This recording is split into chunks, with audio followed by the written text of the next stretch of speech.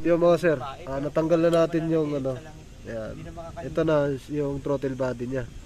Yung sa throttle body, ito naman yung sa servo. Plano? Yan. Ganda. Dalawa. Okay. Clogging. Kung totoo yung sinasabi ni Remulia. Parang tayo na. Isa. Yan o. Parang ano niya mga sir. Putik na yata ang pumasok. Tubig ba gamit mo sir? Hmm? Tubig? Hindi, halo. Kulant tsaka ano. Pero hindi ko lang alam yung dating owner. Kasi ako talaga kulant ako eh. Yan na. Tindi. Ngayon lang ako nakaranas ng ganito.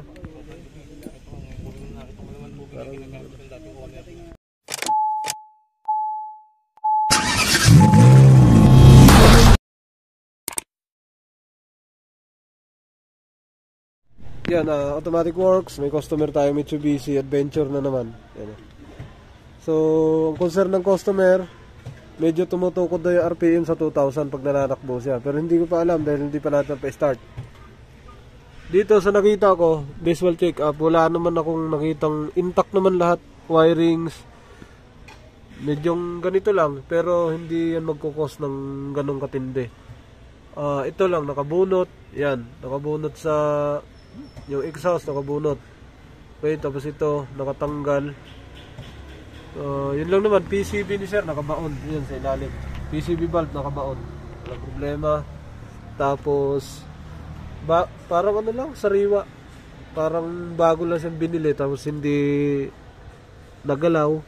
So ngayon nagkaroon ng trouble. May mga open wire pero hindi ano yan. Yan. Mainit kasi yan dyan. Tapos sa battery, positive. May maluwag na part na isa. Sa ground, medyo corrosion dito. Maluwag din. Okay? Maluwag din. Ito, hindi ko lang alam. Tingnan natin yan mamaya. Magkukos yan ng ano, ah, cranking.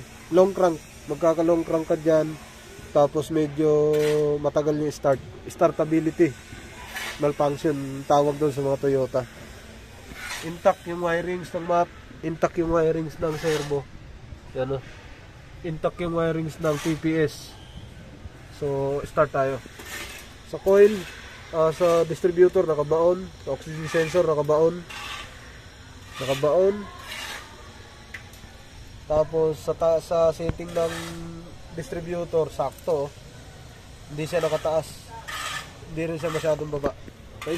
Nasa Driving lang. driving talaga. Okay. Ano, 137 137 lang. On natin susi. Pag on susi, namatay yung check engine, start tayo. Manual.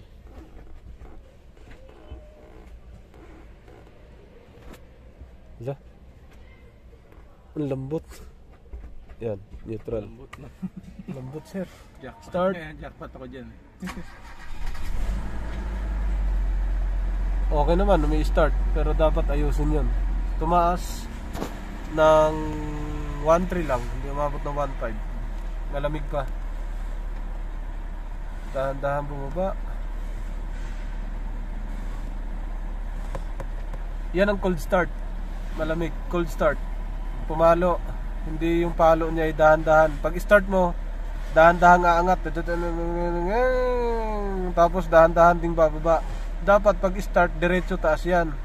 Tapos dahan-dahan bababa. Yun yung good. Painitin lang natin. Mhm.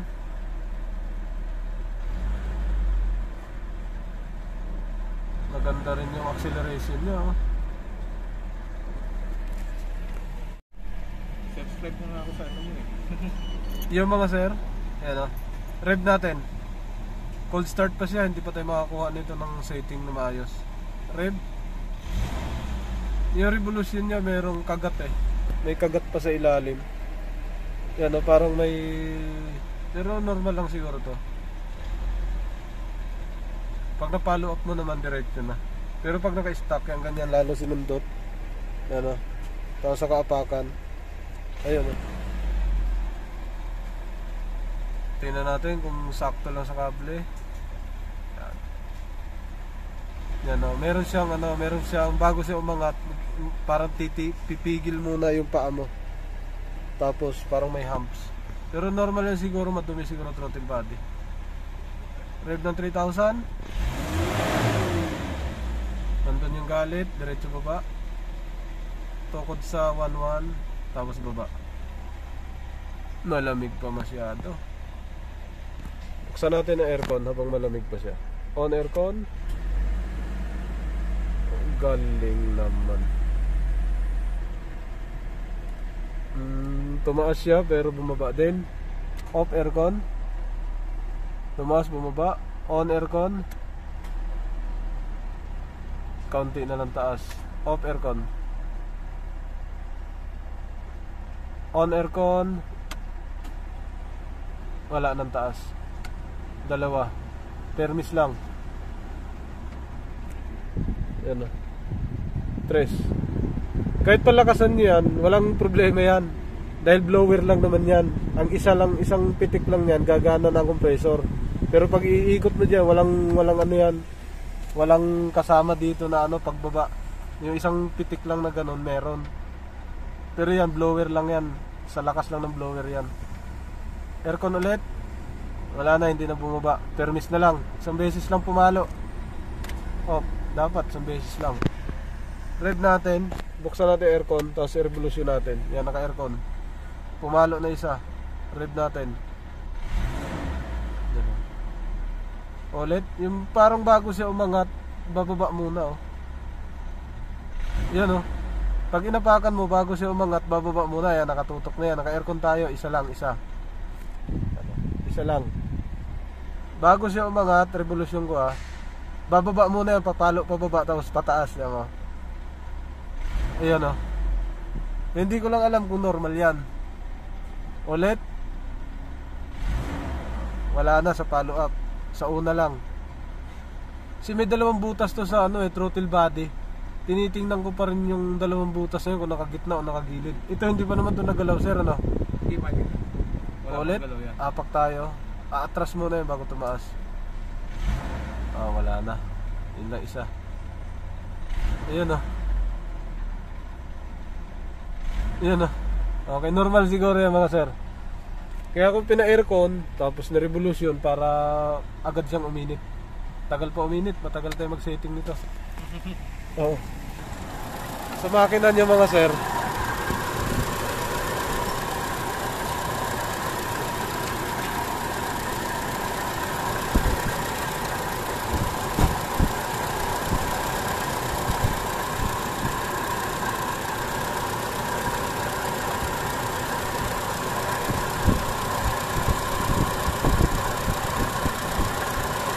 may pag-uga talaga.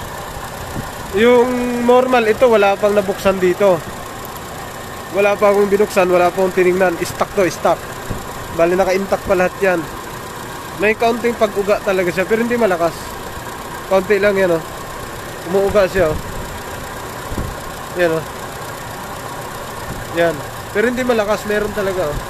oh. Normal yan. Okay, so ngayon, ah hintayin ko lang muna uminit kasi may gagawin ako dyan. Ito sir, ito matagal na nakabunot hindi nakasaksak. Halata sa dumi. Hindi na nakasaksak. Ito dapat ito yan. Yan kaya nagkaroon ng tagas dito. Naghahanap yung langis ng kalabasan yung usok.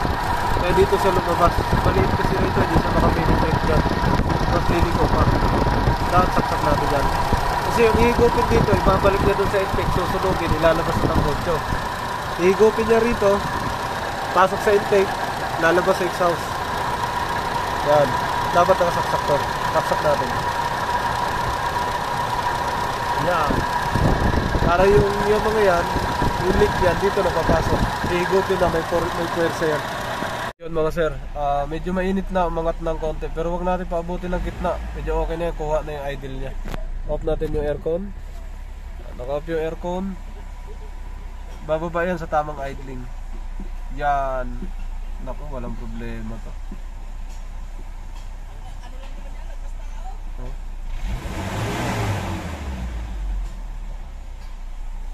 Wala akong nakitang sira. Pero tingnan lang natin yung loob. Okay? Tumutukod dos matagal siyang ah 137 na sir. Yan na yung ano, dumitir mo, no? Tinakbo. 197. 37. Oo. Ay, mat madami na yan. Mahaba na. Okay, so tingnan natin yun doon mga sir. Off na natin. yan. Opo. pwede, pwede sa edad niya, 137. Off na natin mga sir. So smooth naman siya. Ipapa-maintenance lang. Ito sir. 137 sa edad Yung mga sir, natanggal na natin yung intake. Ah, yung ano. Ito hindi nakabalik yan ah. Hindi na ibalik. Ah, buti hindi sumi tumagas. Yan. Hindi nakabalik. Ito tingnan natin to. Medyo may karumihan na yung throttle body. Okay. So, ang concern ng customer, to intact oh. Minsan daw eh nahihirapan siya pag nagpatakbo. Sakal. Ay, buksan natin yun. Yan tigas. Hindi pa nagalaw. Yun. Hindi pa nagalaw. Diyan ka lang sa gilid. Huwag kang gumalaw dyan talaga. Tapos bunot, bunot. Apat bunot ko na. Yun lang. Yan mga sir, natanggal na natin yung throttle body. So yan, wala tayong ginalaw dyan. Ito yung throttle body. Yan. So medyo madumi na siya. So, oo, matagal na kasi. Pero sir, may mga sa loob niyan. Wala pa. Tingnan natin to. Ah, finishing na lang ano. Pinakamatagal.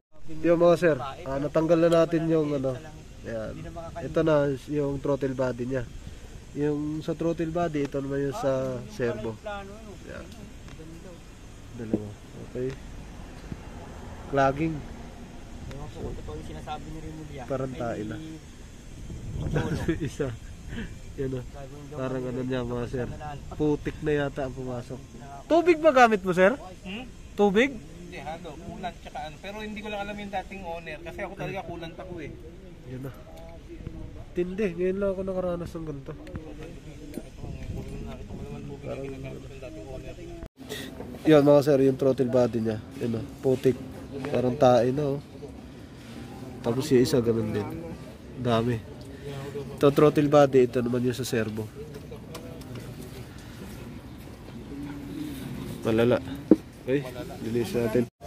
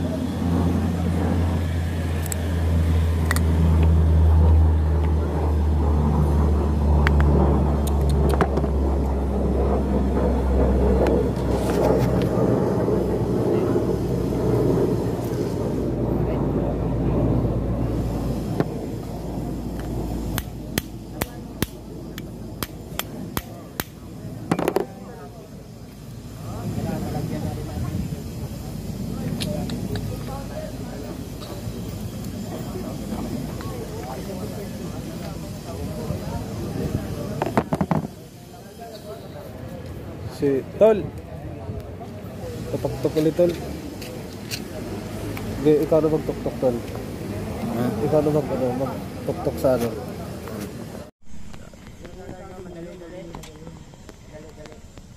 Wala tayong plate number. Dito tayo. Pero walang plate number.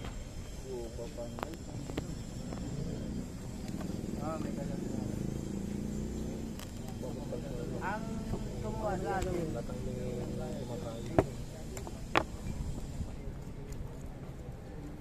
Kapal, oh. Ah, Peanut butter.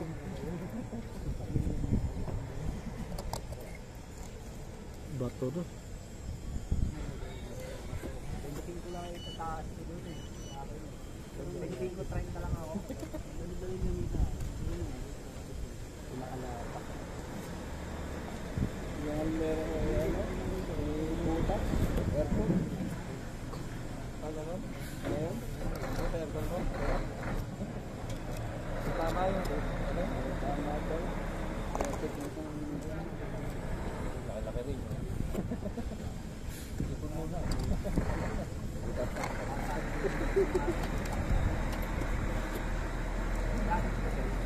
Saan pa kayo ano, sa Jetty o doon sa inyo Amadeo? Sa Tagaytay? Camping Lister. Nasa kasa. Casa Grande. Casa Grande. Hmm, Ganda-ganda dun. Parang invited kami. Yung ganun yun. Nagparinig. Hindi, may invited dyan. Bossing malamang, hindi mo wala yun. Bossing malamang. Hindi, kaya nga si Bossing, eh, ano yun eh, ng ano ni T. Henry talaga eh, ng katamahan eh. Ako naman eh, dating Kita-kita sila dyan. Ako naman eh, dating ano lang ni, ano, ako yung assistant lang ni Bossing. Dakilang kilala eh. Isip ko na yung ano yung mga nandito ko yung YouTube channel. Mapilot ko niya. Sabi ko, wala. Pero wala na pa yun. Dapat lang hindi tubig niya. Ito lang. Oo. Kaya mo. Kaya pero wala lang yung tubig ano lang. Yung nandito yung tubig. Pag, hindi, di mo lagi. Okay, Timmy. Oo.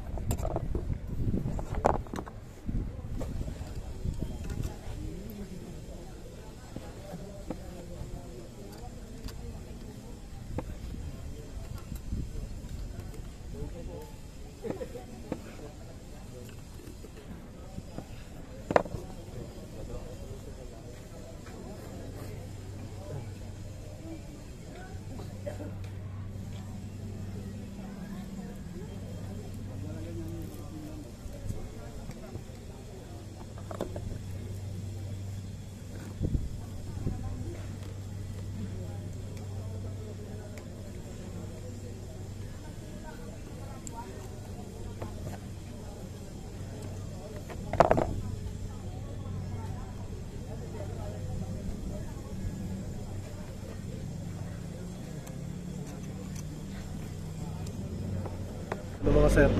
Nalinis natin ito yon Tapos ito isa. Ito na. Nakuha natin. Yan. Ganyang kadami. Okay. Mga sir, so nalinis na po natin. Yan, natanggal na natin yung clogging dito. Ayun, madami doon sa likod. Ito. Yan, lahat sa kanya yan. Para mga putik. Tanggal na natin siya. O, babalik na natin to. Balik natin sa throttle body. Ito yung throttle body niya. Natanggal na rin natin. Malinis na. Tapos fix na natin to mga sir. Yun mga sir, ah, naibalik na natin. Tapos nalinis na rin natin to, napakadumi nito kanina. Tapos dito, ayan ito naibalik na rin natin. Madumi rin yung kanina, so naisip na natin. So kabit na lang natin to dito mga sir. Ayan, balik natin doon. Patong ka lang muna dyan. Kang mahulog. Patong. Dito natin siya ilagay. So, kailangan to ng intake cleaning pero Itong itim na to, ano lang naman to eh. Yung dito lang yan. Kasi may ano yan, may spacer. Yun yung nag-iitim. Okay, balik natin. Yo mga sir, so kakabit na natin. Ay salpak ko na. Inuna ko lang kasi may tatlong hose sa gilid. Bago natin iset natin yan. Ikas na. Yan. Pero dapat may assistant ka sa pagawa ng cellphone habang nagagawa ka, binibideo ka pa niya, tuloy-tuloy yung video mo. Opo. Ayan. So, naikasan na natin to. Tubig na lang. Tubig sa gilid. Tornilyo, apat. Ah. Hello, Rifa. Di kumikita ka rin sa YouTube mo. I-sudak ko. Meron din yan. Sobrang nga, kaya sabi ko sobrang Paano magsimula mag-vlog? Mag, mag, may pa-member ba yan? Hindi. Hindi na. Wala. Basta mag-ano, mag-download. Gumagamit pa siya ng camera na ang, na, ang liit ng camera, 50 mil ang halaga. Kahit doon nalulubak, hindi rin basta-basta na ano yun eh. Kahit umulan ng malakas, hindi na basta na papasok ng tubig. Kahit tayo natin yan, oh. Dik-dik. Hintay ko lang yung susi. Yung siguro ginagamit ng ano, yung mapang-aki. tayo ng Hmm. Pagkababa na yung ano ni Weng. Meron Weng. Eh, yung usapan nila ni James eh, di ba lang nakikita ko sa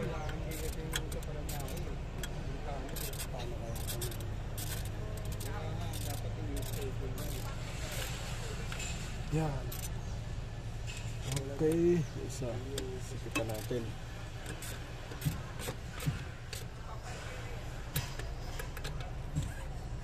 Okay.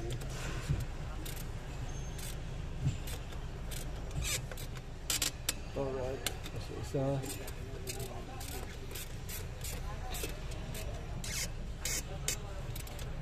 Okay. Pogi lang yan. Tapos sakay na ilalagay. Yan o. Ilalim. Kaya nagkakatartar na to. Tartaria. Alright. Next. So, isa naman. So yung usapan nila boss kanina, Okay. Tapos, baba lang yung sa amin. pasa natin to. Bago magkikita tayo doon sa Santa Rosa. Kaya ka din meron ni Wayne, pupuntahan siya yun sa Renville. Dadalhin din sa kanila. Ay, sampak pala. Ayan, hindi tumama. Kaya nga, eh, ano yung problema natin ngayon? Kung maraming lakad. Sampak. Pero iulog muna natin sa bangko ba? May bangko. Yan. Ano yan? Pagkatapos ng uh, yan yung kay, Okay. Tapos lock. Yan. kay James. May lock siya, mga sir. Wayne. Ito naman. Saksak natin. Ang nabala doon, yung kay Wayne. Okay. Tapos, lock. Lock, nakalock. Akin na yan, sir. Pwede na. Oo. Ako na bahala. Sir, may tatanong lang. Meron na po ba kayo St. Peter? St. Peter? Yes, sir. Naku, wala pa. Ba, mas maganda. Kailangan niyo yan. Putay na, baka mamatay na ako May ngayon. grabe naman din ha. May kumuha sa akin. Kasi, kasi di lalo nga tumatagal ang buhay. eh. Ang kagandahan lang, pag kumuha kayo sa akin, isang taon. May ano ba dyan? May, na. may, may promo? Asan yung kasama ko nasa Eh, likod? pang sarili ko yon Ang promo, ang binibigay kong discount ay isang buong taon. Kung Ah, ang resibo mo, pero resibo mo is 825 ang pinakamababa, ibibigay ko lang sa'yo ng 725. So, bawat, bawat isang pay mo may discount ka. St. Peter Life Plan yun, ba? Mm-hmm. Maganda niyo yung ganito ko. Kuha ko, pwedeng kuhanin ko number mo. Taga ano ako, hindi ako taga rito. Kahit naman taga Manila ka kasi up, ano na to eh, lagi ka naman sa Epson napunta, di ba? Hindi, Ano? bihira lang ako. Nagpunta lang ako dito dahil dito. Pero hindi ako tag, nagtatrabaho sa IPSA. Pero nationwide to, may Gcash naman, pwede naman tayo mag-usap. Sige lang, naka-vlog to. Yes, Yun. So, ngayon mga sir, habang gumagawa ako, 09 0921 21 834 834 4258 4258 58 Mr. Automatic Works Hindi, pangalan niyo automatic work. Jerome Jerome. Saan ka ba, Manila? Saan ka sa Manila rin? Ayun Ano? nga, saan kumuha? Alabang, oh. Caloocan Gini-gcash niya ngayon, kinuha niya, kinuha ko yung messenger niya, tapos Mm. sinesend ko yung resibo. Tapos pag kami nakita, naipon yung resibo niya, at Mm. sinesend ko sa, binibigay ko sa kanya. Pero, kasi nagpo-collector, eh, ano pa rin ako eh. Pagka kumuha ka ultimo ngayon, may re-resibuhan na kita, and then after nun, meron ka na agad ah, insured. Kagandahan lang, pag kumuha ka sa akin ora-orada ngayon, nag-fill up ka ng form, Sasama kita sa vlog ko ha May vlog ako, nagbablog ako hmm. Eh, ano ba play mo sa vlog mo? Sige lang Ilan na account mo? May milyon na ba? Saan? Shit Hintay ko ng break time ng ano yan, takip tora. Kaya Takip na ano yan o, ng Purisima. Ko patay Mukhang nararamdaman mo ng maraming mamamatay dyan ah. Uy, grabe naman. Yung kumuha nga nito sa akin, yung halos tumagal. Ano na nga siya eh. Ah, dialysis siya, one year. Sabi ng doktor, di ba ang dialysis usually, not ano, ma ilang buwan na lang. Pero seven years, awa ng seven years, buhay pa, no? Yun mga sir, naisalpak na natin. Wala tayong sinating dyan. Ah, sa idle ng idle screw, hindi natin binabaan, hindi natin tinaasan. Dito, hindi natin ginalaw. Nilinis lang natin, simpleng linis lang. Tapos, yun lang, wala pa akong ginalaw. Dito sa kable, stuck yan. Stuck yung kable ni sir. Ugong na ugong siguro to pag pinandar yan ah. So, pwede namin subukan to para malaman namin kung ano. Kung ano yung andar niya ngayon. May dalawa akong tornilyo hindi nakabit. Isa, dalawa. Nakasaksak na.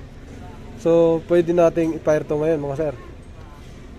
Dito sa akin yung susi. Walang mahuhulog dito. Yan, walang mahuhulog. Bira tayo. Yan mga sir, itong first time natin pag-testing sa kanya. Anong idling na. Dapat pipitik muna sa taas, tapos pipitik pababa. Start. On. Naka-on na. Start. Pumitik lang siya sa 1-1. Baba ng pinitik, sir. So, kanina, ang tagal niya uminit. Yan.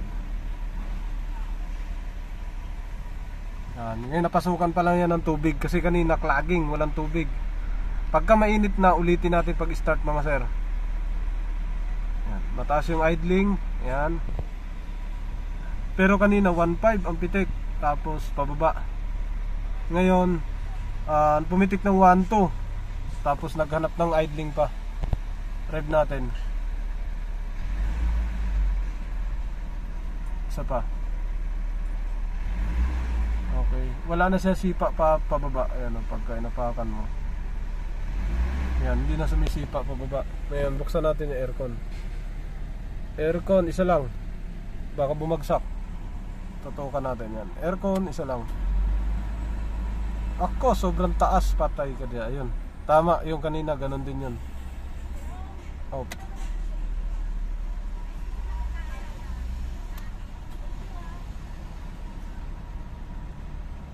Naka aircon, stable, off. Hintayin muna natin yung idling na mag-circulate yung tubig, uminit. Red. Iba ang galit niya kaysa kanina. Yan o.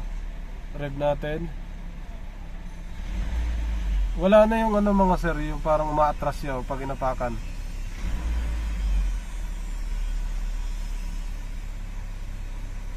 Yung mga sir, ah, ito na siya ngayon. Pag inapakan mo siya, ayan. Malamig pa.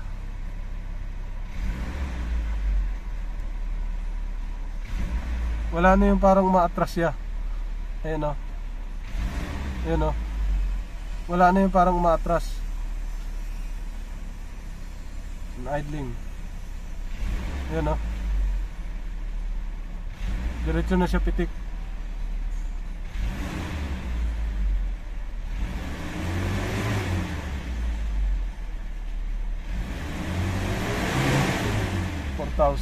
Okay, pinaikot ko lang yung ano para uminit. Aircon muna tayo. Painitin ko lang mga sir. Tapos pa automatic. Taasin natin yung temperature ng tubig. Ito sa harapan no sir. Ah, intact lang, wala pa ginalaw yung dumi lang, tinanggal natin. Pero may nagbabago na sa kanya. Okay, testing muna natin, painitin natin to. Yun mga sir, ah, nakapasok na tayo sa tamang init yan, umangat na siya hanggang dyan. Pero hindi na siya umangat ng todo. Yung idling ni sir, ganyan kataas. Yan. Tapos yung ah, ah, init niya, ganyan, naka-aircon kami. Yan. Yan, naka-aircon kami. Yan, ganyan kainit. Tapos yung idle, ganyan, kataas. Mhm. Rev natin. Right, isa pa. Okay. Diretso lang. Ayun. Thank you, thank you. Yan, diretso, bagsak. Diretso ang bagsak. Diretso ang taas. Okay, diretso ang bagsak. Walang pigil. Yan. Off natin ang aircon. Ah. Off ng aircon. Tingnan natin yung idling. Gaano kababa.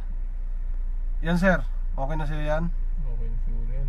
Mga sir, nawalaan daw yung sakit ni sir na pagka ng manual, pagka nag ano siya, nagbigay ng first gear hanggang 2.5, nung pagka segunda, umiipit daw sa 2,000 RPM, hindi na dumidiretso. Pero ngayon, guminhawa na. Lumalampas na oh. Yan. 3,000, 3,500. Oh, yun. Tresera, okay. Ito nakapites na eh. Okay, pwede nang hapitin. Alright. Okay, release. Okay, libre na. Nakakwarta na. Okay, timpla-timpla na lang yan. Alright, tapos na. Okay. May humps. Alright. Ayun. Sumisipot dahil yung sa putik talaga. Kaya nga. Putik na yun. Pero kung tutusin sir, walang supply ng hangin yun, tubig yun. Kaya nga eh. Pero bakit ganun eh, no? Oo, kaya. Magtataka ka, no? Kaya halos wala nang itakbo yung hangin eh. Opo. Okay. Kapal talaga eh. Oo nga, sir. Sarado na eh. So, mga sir, galing na kami sa takbo. Yan, naka-off ang aircon. Tumaas na yung ano, tubig namin. Yan na. Tapos yung idle namin bumaba na. Regulasyon ko lang. Okay. Isa pa. Alright. Tapos buksan natin yung aircon. Aircon tayo kung babagsak siya. Isa lang. Ayan. Isa. Thank you Pumalo. Pumalo ng 1-1. Yan, bumalik. Bumaba sa, yan, 950. Ayan, bumaba. Ah, Okay, naka-aircon na po tayo mga sir. Kahit i-dose natin yan, trace, walang ano yung pagbabago. Permis lang yan. Yan. Patayin natin yung aircon. Off aircon. Okay, palo kaunti. Tapos bababa na naman sa idling. Off natin. Yan. Naka-off on. Tingnan natin yung check engine. Patay. Okay, start. Diretso sa 1.5. 1.6. Tapos dahan-dahan bababa kasi sakto na tayo sa init. Sakto na sa init. Ayan. Hahanapin pa niya idling niya. Right. Ngayon, pagdating sa idling, hindi ako nagdidepende sa sakyan, nagdidepende ako sa may-ari kung saan siya hiyang o kung saan niya gusto ang idling niya nandoon. So siniset ko pa yan doon sa harapan. Tatlong setup pa yan. Okay? So yun lang mga sir, automatic works.